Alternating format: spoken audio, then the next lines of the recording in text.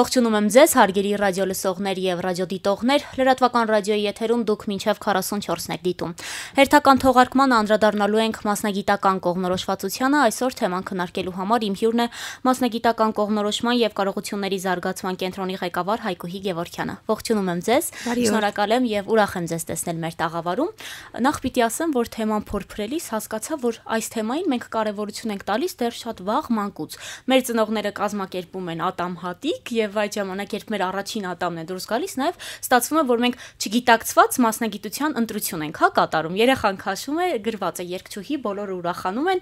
ու ինչ որ պահից սկսած նաեւ երեխան էլ է սկսում գիտակցել, որ պետք է գամի փուլ, երբ կատարի մասնագիտության ընտրություն։ Ուզում եմ այդ գիտակցված տարիքի մասին խոսել, հա, երբ է երեխայի մոտ այդ գիտակցական մակարդակում ձևավորվում այդ ցանկությունը մասնագիտություն ընտրելու։ Նախ ես եմ շատ ուրախ ձեզ հյուրընկալվելու եւ ուրախ եմ, որ կարեւորում եք թեման, հատկապես մասնագիտական տեսանկյունից, որովհետև այո, ատամհատիկի արարողությունը կարծես մեզ մոտ ավանդական է ընտանեկան, բայց դրա ազդեցությունը դեռ վաղ տարիքից սկսած մինչև հասունության շրջան ծնողները միշտ պահում են, այսինքն ընտրել ենք բժշկի մասնագիտությունը, եկեք այդ դեպքում ավանդույթը չխախտենք ու ընտրենք բժշկի մասնագիտությունը։ Եվ շատ սիրուն որակում եք օգտագործում գիտակցված ընտրություն։ Այո, շատ կարևոր է հենց այդ ընտրությունը կատարել գիտակցված։ Եվ ես ուզում եմ մի քիչ նախաբանով սկսել խոսքս։ Շատ կարևոր 3 սկզբունք ունենք, 3 գործոններ, որոնք պետք է ազդեցություն ունենան մասնագիտության ընտրության վրա։ Առաջինը մտածողության փոփոխությունն է։ Մենք այո մնացել ենք դեռևս այդ ատամհատիկի մտածողության մեջ, դեռևս խորթային ժամանակների ազդեցությունը, որ երկիրն ունի մեկ տնտեսություն եւ այդ տնտեսությունը կառավարում է պետությունը, հետեւաբար անձը ընտրելով մասնագիտություն դա կատարում է կյանքի համար որոշիչ մի ընտրություն, հետեւաբար այդ մասնագիտության ընտրությունը պետք է լինի շատ գիտակցված, շատ կարևոր, շատ ճիշտ եւ անձը պետք է իրացնի դա իր ողջ կյանքի ընթացքում։ Երկրորդ կարևոր սկզբունքը իրազեկվածության պակասն է։ Մենք տեղեկացված չենք ինչպես կրթության հնարավորություններից, մասնագիտություններից, այնպես էլ աշխատաշուկայի արագ փոփոխվող տեմպերից, եւ դա ազդում է մեր ընտրած մասնագիտության վրա։ Ասում եմ մեր, որովհետեւ բավականին համատարած է եւ դրա ազդեցությունը մենք տեսնում ենք ինչպես գործազրկության, այնպես էլ տնտեսապես ոչ ակտիվ բնակչության թվականակի շարունակվող աճի այսօրվա ժամանակներում։ Այսինքն այնքան կարևոր խնդիր լրիչ է գործազրկությունը, որքան տնտեսապես пассивությունը, որովհետև եթե մենք չգիտենք ինչպես իրացնել մեր ստացած կրթությունը, բնականաբար դա բավականին լուրջ խնդիր է։ Եվ երրորդ կարևոր գործոնը, որ ազդում է մասնագիտության ընտրության վրա, դա հմտությունների պակասն է եւ չկարևորել անձնային որակները։ Բոլոր հետազոտությունները ցույց են տալիս, որ գործատուն այսօր առաջնահերթ դիտարկում է երիտասարդ կadrերի համար անձնային որակները՝ պատասխանատվություն, պարտաճանաչություն, սովորելու կարողություն եւ այնպիսի կարողություններ, որոնք երիտասարդին ավելի մրցունակ են դարձնում իրենց տարեկիցների համեմատությամբ։ Այսինքն նախաձեռնող լինեն, արագ կատարեն գործողությունները, ճկուն լինեն, հարմարվեն փոփոխություններին եւ այլն։ Այս երեք հիմնական գործոններն են, որ մենք պետք է հաշվի առնենք մասնագիտության գիտակցված ընտրության ժամանակ։ Եվ հետեւաբար պետք է սկսել մտածողության փոփոխությունից։ Եվ կարծում եմ, այս հաղորդաշարն էլ հիմք կլինի, որ մարդիկ սկսեն մտածել։ Մտածել, ինչ են ընտրում։ Իրականում էլի փորփրելուց այսպես հասկացա, որ կան մասնագիտություններ, որոնց ասում են ճիշտ մասնագիտություն կամ այսպիսի մի հարցադրում կա համացանցում, ինչպես ընտրել ճիշտ մասնագիտություն։ Հիմա ուզում եմ հասկանալ, ո՞րն է ճիշտ մասնագիտությունը եւ եթե կա ճիշտ մասնագիտություն, ապա սխալ մասնագիտությունը ո՞րն է այդ որակավորումը իրականում ճիշտ է տալ մասնագիտությանը ճիշտ ու սխալ անվանումը իհարկե ճիշտ չէ հատկապես մասնագիտական տեսանկյունից ինչու փորձենք դա էլ հասկանալի դարձնել ինչ ասել է ճիշտ որակումը ճիշտ ում համար ճիշտ։ Մենք իրականում մասնագիտություն ընտրում ենք ոչ միայն մեզ համար, մեր ծնողների, մեր ընտանիքի համար, այլ ընտրում ենք երկրի, տնտեսության, համայնքի եւ նաեւ հասարակության համար։ Այսինքն մեր կատարած ընտրությունը պետք է անմիջական ազդեցություն ունենա նաեւ տնտեսության զարգացման մեջ։ Եթե ընտրել ենք այնպիսի մասնագիտություն, որի պահանջարկը չկա մեր համայնքում, որտեղ ապրում ենք, հետեւաբար մենք չենք կարող այն իրացնել համայնքում։ Հետեւաբար չենք կարող նաեւ տնտեսությունը զարգացնել կամ մեր ներդրումն ունենալ տնտեսության մեջ։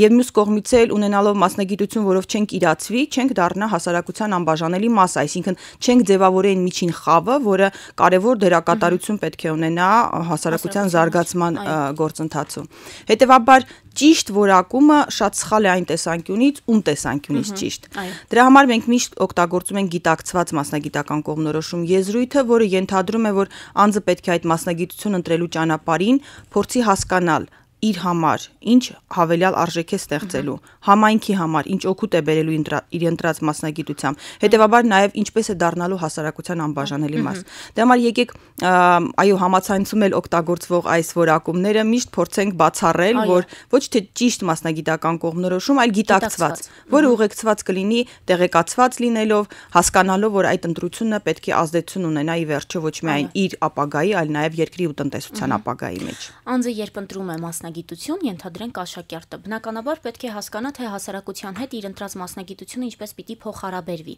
Ես չեմ վախենա ասել, որ կան մասնագիտություններ, որոնք կարծրատիպային ընկալումներ ունեն այսօրվա հասարակության տարբեր շերտերի մոտ, իմ մասնագիտությունը, ես մասնագիտությամբ լրագրող եմ ու շատ հաճախ հասարակությունը երբ լսում է, որ դիմացինը լրագրող է, սկսում է կարծրատիպորեն մոտենալ ու, «Ա, դու լրագրող ես, པարզ է արդեն»։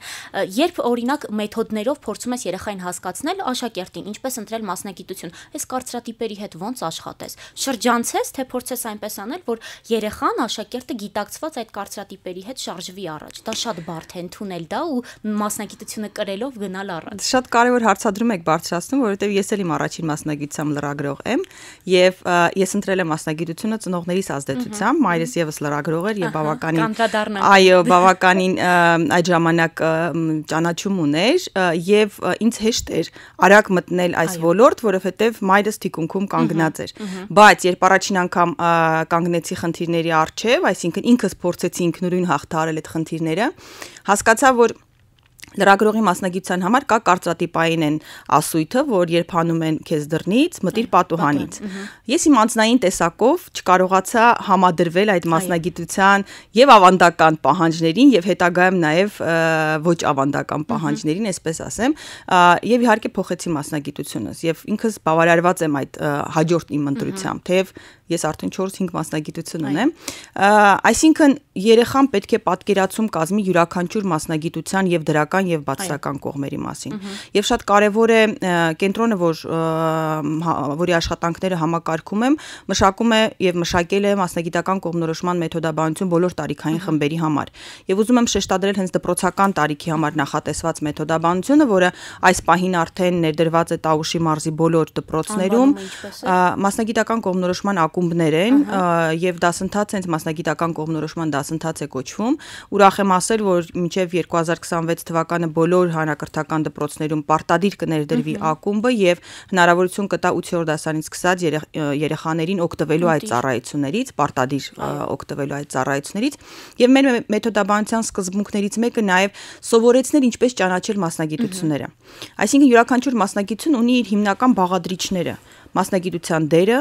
մասնագիտության ներկայացվող պահանջները կրթական, որովհետև սա եւս պետք է գիտակցենք, որ բոլոր մասնագիտությունները չեն, որ բուհական որակավորում են պահանջում, եւ պետք է հստակ տարբերակել միջին մասնագիտական, արհեստագործական եւ բուհական կրթության առանձնահատկությունները։ Մասնագիտության դրական եւ բացասական կողմերը, ես միշտ օրինակը բերում եմ ժամանակին հաղորդաշար կար, որտեղ օրինակ հրշեջի մասնագիտություններ ներկայացնող ֆիլմ կար, երբ դիտում էիր արցունքներն աչքերիդ, ասում էիր ուզում եմ հրշեջ դառնալ։ Կամ երբ բժշկի մասնագիտության արդյունքն ես տեսնում, ուզում եմ կյանքեր փրկել։ Առանց գիտակցելու, որ դրա տակ բավականին լուրջ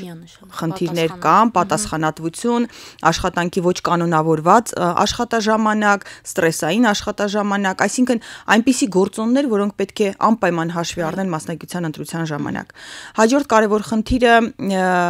պահանջվող կարողությունների շրջանակն է եւ անձնային որակները։ Այսինքն կան մասնագիտություններ, որոնք առանձնահատուկ անձնային որակներ են պահանջում։ Օրինակ լինել ստրեսակայուն, օրինակ չլինել կոնֆլիկտային։ Դե բոլոր մասնագետների համար շատ կարևոր է հաղորդակցման հմտությունները, ակտիվ լսելու կարողությունը։ Այսինքն շատ կարևոր է հասկանալ նաև տվյալ մասնագիտության ներկայացվող այն կարողություններն ու անձնային որակները, որոնք պարտադիր են։ Եվ իհարկե զբաղմունքների դաշտը։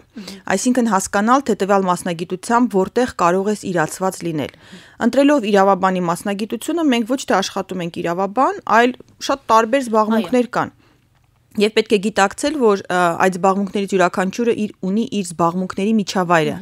Օրինակ մենք որպես բանկային մասնակետ արդյոք պատրաստ ենք ամեն առավոտյան, հա, հստակ աշխատաժամանակով 9-ից 6-ը նստած համազգեստով հատուկ եւ այո։ Այսինքն Այս ամենը պետք է աշակերտը պատկերացնի եւ յուրաքանչյուր իր ընտրությունից առաջ վելուծի տվյալ մասնագիտությունը։ Եվ այո, մեր մեթոդաբանության մոդուլներից մեկը հենց մասնագիտությունների բացահայտումն է։ Մասնագիտությունների բացահայտման ճանապարհին մի բան էլ է նկատելի դիմորդների շրջանակում՝ турք են տալիս շատ լավ հնչող ու մոդայիկ մասնագիտությունների։ Օրինակ Երևանի Պետական Համալսարանի Իրավագիտության եւ Միջազգային Հարաբերությունների ֆակուլտետը այն ամենասիրելի ցանկալի ֆակուլտետներից մեկն է, որտեղ դիմորդների պակաս երբ երբևէ չկա։ Կար մի աշակերտ, որ հետ շփվում է, ասում է ինչ ես ուզում դառնալ, ասաց միջազգայնագետ, ասում եմ ինչու, ասաց դե լավ է հնչում։ Լավն է միջազգայնագետ, իրավաբան, այ ինչպես բացառել, հա, այս ամեն ինչ, այսինքն турք չտալ այդ մոդայի քնչելուն, турք չտալ նրան, որ սա լավ է հնչում, որովհետև այդ միջազգայնագետ դառնալու ճանապարհը այնքան բարդ է ու շատ հաճախ աշխատաշուկայում իրացվելու հնարավորությունն էլ գնալով քչանում է։ Այո, հենց այս խնդիրը գալիս է մտածողության փոփոխության այն գործոնից, այո, առաջին հենց մտածողության փոփոխության փոփոխությունն է։ Իդեպ ձեր նշած մասնագիտությունները երբեք աշխատաշուկայում պահանջարկի խնդիր չեն ունենում, այսինքն այնուամենայնիվ դրանք պահանջված են։ Նույնը կարող ենք ասել նույն բժշկի մասնագիտության, բայց եթե հիմա դիտարկենք, մենք մարզերում բժշկական մասնագիտությունների գծով այնպիսի պահանջարկ ունենք, որ մարզեր ունենք, որտեղ չկան անաստազիոլոգներ կամ մանկաբույժներ, վիրաբույժներ եւ այլն։ Հետևաբար, այստեղ խնդիրը ոչ թե աշխատաշուկայում պահանջարկն է, այլ որակավորված մրցունակ մասնագետ լինելը։ Իսկ դրա կարևոր սկզբունքը սեփական անձնային, այսպես նախասիրությունների եւ տիպաբանության բացահայտումն է։ Պետք է ընդունենք, որ բոլորս միատեսակ չենք։ Յուրաքանչյուրս ծնվում ենք մեր տեսակով։ Ես երկու երեխա ունեմ, երկուսն շատ տարբեր են եւ չեմ կարող մեկին մյուսի համեմատությամբ դիտարկել, որովհետեւ յուրաքանչյուրը իր անհատականությունն ունի եւ յուրաքանչյուր իր տիպաբանությամբ է առանձնանում։ Դա նշանակում է, որ յուրաքանչյուրի համար սիրելի է կամ նախընտրելի տարբեր գործողություններ։ Հետևաբար մասնագիտական կողմնորոշման սկզբունքներից կողմերից մեկն էլ ճանաչել ինքդ քեզ։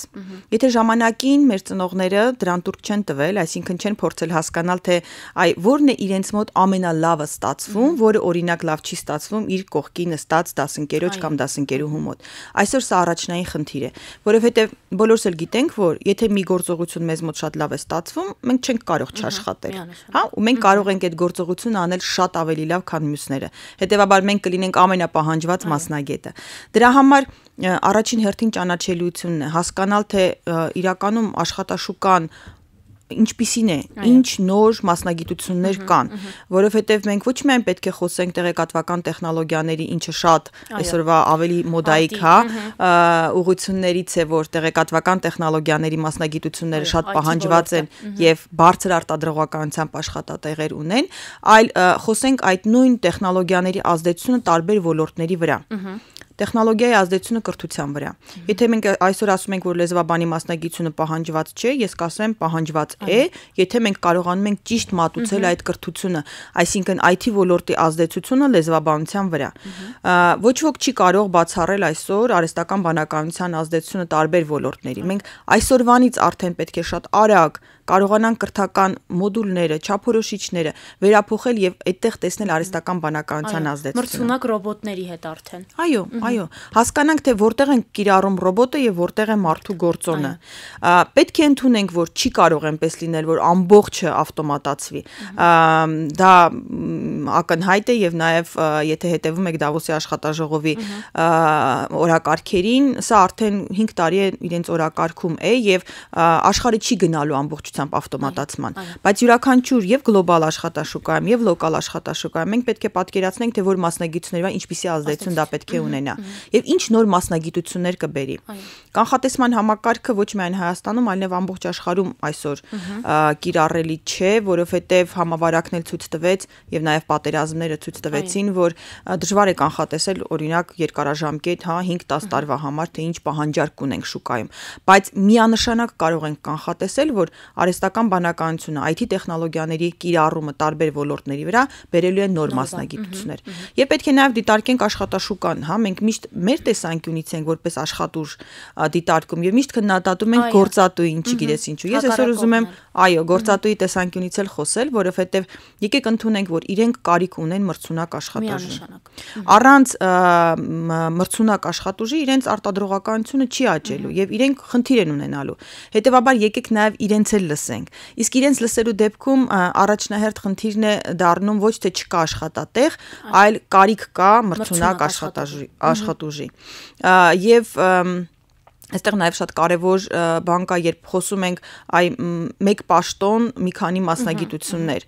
եւ քննադատում ենք գործատուին, օրինակ, ինչու է շատ ավելի պարտականություն, հա? այ աշխարհն է գնում դրան։ Եվ կրթական համակարգն էլ պետք է արագ արձագանքի դրան։ Ոչ թե ունենալ մեկ օպերատոր, այլ ունենալ մեկ մասնագետ, ով կտիրապետի եւ օտար լեզուներին, եւ օպերատորությանը, եւ կկարողանա համակարգել որոշակի ադմինիստրատիվ աշխատանքներ եւ այլն։ Դրա համար այստեղ կրթություն աշխատաշուկա այդ խզվածությունն է բերում շատ հաճախ, որ մենք մրցունակ մասնագետներ չենք ունենում, հետեւաբար ունենք այսպիսի իրավիճակ, այսինքն կառուցվածքային գործազրկություն, որը շարունակում է խորանալ Հայաստանում։ Ձեր հարցազրույցներից մեկում նշեցիք, որ մասնագիտական կողմնորոշումը ինքնին որպես արտահայտություն դեռ խորթային տարիներից է եկել ու այսօրվա ազատ շուկայական հարաբերություններում մենք ունենք նոր մասնագիտություններ եւ ունենք նաեւ մասնագիտություններ, որ հնանում են, յետին պլան են մղվում։ Ու ուզում եմ այսպես տարանջատում մտցնենք. կարիերայի ուղղորդման ու մասնագիտական կողմնորոշման միջեւ, որովհետեւ այդ մասնագիտությունը կարիերայի 1/3-ն է, հա, շատ փոքրիկ մասն է։ Որն է կարիերայի ուղղորդում ու ինչ մեթոդներ են այս դեպքում կիրառվում։ Շատ շնորհակալ եմ հարցի համար, որովհետեւ իրականում երևի թե ես պետք է սկսեի հետ դրանից, եզրույթներից, որովհետև երբ մենք խոսում ենք մասնագիտական կողմնորոշում, արդեն պատկերացնում ենք խորթային ժամանակների մեկ մասնագիտություն ոչ կյանքի ընթացքում սկզբունքը։ Իրականում, եթե փնտրեք մասնագիտական կողմնորոշում եզրույթը, հիմա ոչինչ չեք գտնի, որովհետև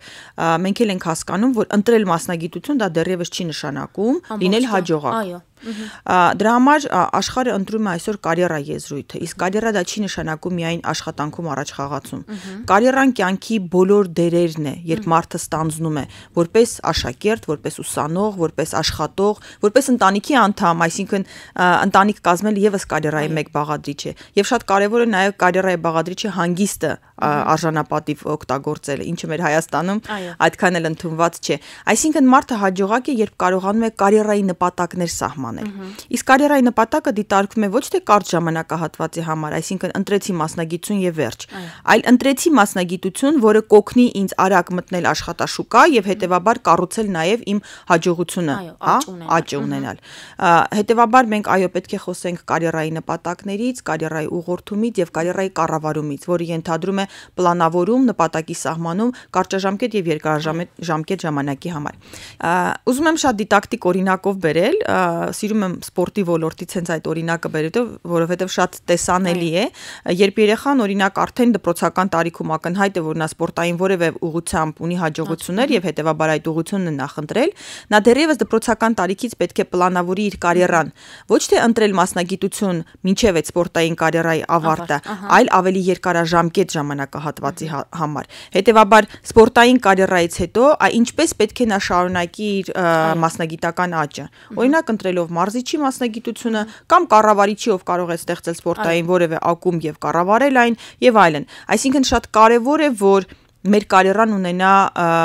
երկարաժամկետ նպատակ։ Ոչ թե մեկ մասնագիտություն ամբողջ կյանքի համար։ Այո, եւ գիտեք հետաքրքիր բան կա, երբ ես էի աշխատաշուկա մտնում,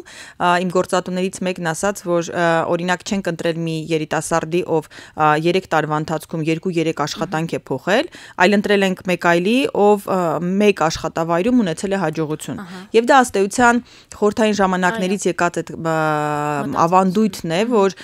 մարդիկ հաջողված են համարում իրենց կարիերա կիրառում, եթե միևնույն աշխատատեղով շարունակել են, այո, վերև են բարձրացել։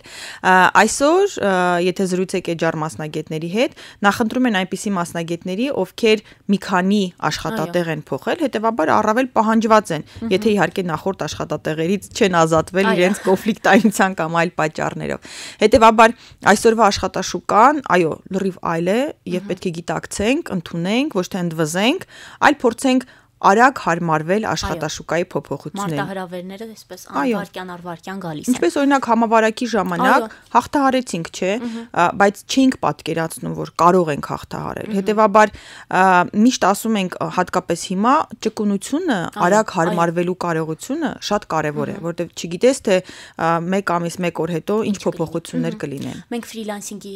վերաբերյալ ունեցանք քննարկում ու համաճարակը ստիպեց մեզ ֆրիլանս աշխատատեղեր եւ ստեղծել եւ նաև հարմարվել այդ ֆրիլանսինգ կոչվածին, հա, on-line աշխատատեղերին։ Քանի որ ձեր օրինակը շատ հետաքրքիր էր, հա, մայրս լրագրող էր, ես էլ որոշեցի դառնալ, այսպես անցնենք այն ավանդական մտածողությանը, երբ տանը կա ինչ-որ լավ աշխատանք ունեցող մեկը, ընդհանրենք պապիկը դատավոր է, թորն էլ պարտադիր պիտի դառնա դատավոր, բայց երեխայի մոտ մի այսպիսի մտածողություն կա, քանի որ ընտանիքում անընդհատ տեսնում է պապիկի ծավալած գործունեությունը, ինչ որ մի պահի նա միայն հետաքրքրվում է դրանով որ փուլից է սկսա որ փուլից է սկսվում երեխայի, այսպես աչքերը բացվում են նաև այլ մասնագիտությունների շուրջ։ Ու հասկանում եմ, որ դատավորից բացի կա, չգիտեմ, կառավարիչ, քնիչ եւ այլ, ինչ որ IT մասնագետ ենթադրենք, հա, պապիկին դնում ենք մի կողմ կոպիտ ասած այսպես։ Սա ծնողների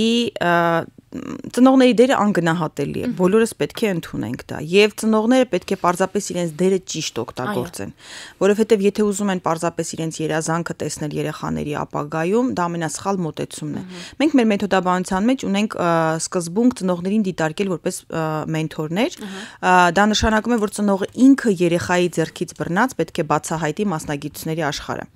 Ինքը լավագույնս է ճանաչում իր երեխային, բայց հաճախ մենք նաև ոչ adekvat ենք գնահատում, հա,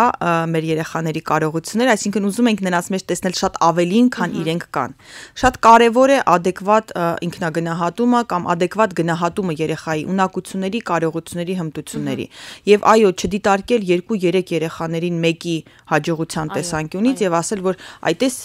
մեծ քույրդ ընդունվել է օրինակ ամենահա հաջողված մասնագետներից է դու էլ պետք է այդ ճանապարհով գնաս։ Եթե մենք յուրաքանչյուր երեխային դիտարկում ենք որպես անհատականություն, լուծում, հետեւաբար կարողանում ենք հասկանալ, թե այ որն է նրա ապագան, որտեղ է նրա, որտեղ կարող է նա ինքնաիրացվել։ Շատ կարևոր է ծնողների այդ այդ գիտակցումը եւ ուրախությամբ պետք է ասեմ, որ մենք ոլորտում դեռևս 2007 թվականից ենք, ժամանակին շատ ավելի խորն էր այս ամենը դիտարկվում։ Ունեցել ենք դեպքեր, երբ օրինակ երեխայի հետ աշխատելու ժամանակ ծնողը եկել եւ ըմբոստացել է, նույնիսկ մեղադրել է, նույնիսկ վատաբանել է, որ իրավունք չունեք երեխային ապակողմնորոշելու, որտեվ իմ երեխան պետք է դառնա տնտեսագետ եւ սովորի այսինչ ուսումնական հաստատությունում։ Բայց իրականում ծնողների հետ աշխատանքից հետո հենց այս օրինակի օրինակով կարող եմ ասել, այդ ծնողի հետ երկարաժամկետ աշխատանքից հետո հիմա նրա երեխան ոսկերիչ է ոչ թե տնտեսագետ, ունի իր ոսկերչական ընկերությունը, շատ հաջողված երիտասարդ է եւ միշտ օրինակ եմ բերում իրեն, որովհետեւ նա ամբոստացել էր ծնողի դեմ, բայց ծնողը ի վերջո ինքն էլ ընդունեց եւ ինքն էլ ընդունեց այն ծառայությունները, որ առաջարկվեց իրեն, այսինքն երեխայի հետ միասին ճանաչել մասնագիտությունների մեծ աշխարհը։ Հետևաբար չեն կարող բացառել, որ օրինակ երեխան ծնողից կարող է ժառանգել այդ կարողությունները։ Պարզապես այստեղ adekvat գնահատման խնդիրն է, որ պետք է ճանաչել երեխային, ճանաչել երեխայի երեխայի կարողությունները եւ հետեւաբար ուղղորդել։ Ինձ համար կոմֆորտ էր, ինձ համար կլասիկ ժուրնալիստիկան էր շատ հոգեհարազատ, բայց այստեղ ժամանակների խնդիրն էր, որովհետև մայրս խորթային ժամանակների լրագրող էր, այդ լրագրության մեջ ես ինձ գտել էի, բայց 90-ական թվականներն էր, երբ դեղին մամուլը շատ արագ մտավ մեր կյանք եւ ես չկարողացա հարմարվել այդ ժամանակների լրագրությանը։ Այո, այսպես վերջում եզրափակող հարցով հետաքրքիր է, որ համալսարան ընդունվելուց հետո, երբ բախվում ես իրականության հետ ինչ որ մասնագիտության հետ կապված, փոշմանում ես, բայց հետ չես գնում։ Ու երբեմն վախենում ես այդ հետ գնալուց, որովհետև մտածում ես, որ եթե հետ գնաս, երկրորդ ընտրություն գուցե եւ չկարողանաս անել, հնարավորություն չստեղծվի։ Ինձ հետաքրքիր է ինչպես է աշխատում նման մտածողություն ունեցողների հետ։ Առաջին հերթին շատ կարեւոր է հասկանալ, որ կրթությունը ողջ կյանքի ընթացքում գործընթաց է բայց նաև հասկանում են կարծրատիպային այն մոտեցումը, որ կրթության գործընթացում գտնվելով դու գտնվում ես կոմֆորտ զոնայում։ Այսինքն Չկա օրինակ աշխատանքի պարտադրանք, չկա օրինակ միայն քննությունների ժամանակահատվածն երբ ինքդ քեզ նեղություն ես տալիս քննություն հանձնելու եւ վերջ։ Դրա համար մենք միշտ նախընտրում ենք երիտասարդները շատ հաճախ նախընտրում են ուղղակի մնալ այդ կրթական process-ում։ Կապ չունի թե հաջորդ պահին ինչպես դու կմտնես աշխատաշուկա։ Ստրեսը մարդու համար է։ Մենք պետք է կարողանանք այդ ստրեսը կանխատեսել դեռևս առաջին կուրսից։ Այսինքն փորձել այդ ուսումնառության շրջանում հասկանալ ինչ է աշխատաշուկան։ Իսկ ինչ ենք անում մենք, հա, հիմիկվա երիտասարդ երիտասարդությունը։ Չեմ ասի մեծամասն, որովհետև ունենք նաև երիտասարդներ, ովքեր արդեն ուսումնառության ժամանակահատվածում աշխատում են կամ կամավոր են։ Պետք է մտնել աշխատաշուկա, պետք է թեթևացնել այդ ստրեսը։ Եվ թեթևացնելուց հետո ավելի հեշտ է լինում որոշումներ կայացնել։ Այդ որոշումներ կայացնելու գործընթացում մենք ելի մեր խորթային, հա, կամ հայ ավանդական ընտանիքի ավելի շուտ մոտեցումն է, երբ սպասենք, տեսնենք ինչ կլինի։ Պատահական չի, հա, որ մենք օգտագործում ենք նստել թախտին, սպասել բախտին։ Մենք ինքներս մեզ ծրագր դրսևորում ենք այդպեսին։ Այսինքն նստենք, սպասենք, թե երբ ինչ որ մեկը մեզ ինչ որ մի բան կառաջարկի, առանց նրա որ փնտրենք, գտնենք մեզ համար հարմար աշխատանք, թեկուզ եւ որոշակի խնդիրներ հաղթահարելու արդյունքում։ Պետք է կոտրել այդ մտածելակերպը։ Յուրաքանչյուր անձ, այո, կյանքի որոշակի փուլում պետք է փոխի մասնագիտությունը, ընտրի նոր մասնագիտություն, աշխատի այլ մասնագիտությամբ հասկանալով, որ դա իրենն է, փորձի կրթությունը համապատասխանեցնել իրեն դրա համար կան նաև ողջ կյանքի ընթացքում կրթության, հաս սկզբունքները, մեծ ասակների կրթություն հասկացությունը պատահական չէ։ Ես ինքս իմ այս տարիքում ունեմ 4 որակավորում, որոնք մի դեպքում եկել են մասնագիտությունը փոխելու տեսանկյունից, մյուս դեպքում աշխատանքը հարմարեցնելով մասնագիտությանը։ Հետևաբար ես ինձ հաջողված մարդ եմ համարում եւ ուզում եմ որ մարդիկ այո իսկապես իրենց հաջողությունը տեսնեն այդ փոփոխությունները ճիշտ համադրելու արդյունքում։ Շնորհակալ եմ զրույցի համար, իսկապես շատ հաճելի զրույց ստացվեց։ Իսկ ես հարգելի ռադիոլսողներ եւ ռադիոդիտողներ հիշեցնեմ, որ դուք լրատվական ռադիոյի եթերում մինչև 44-ն եք դիտում։ Ձեզ համար աշխատեց Անահիտ Ղազարյանը։ Հաջողություն։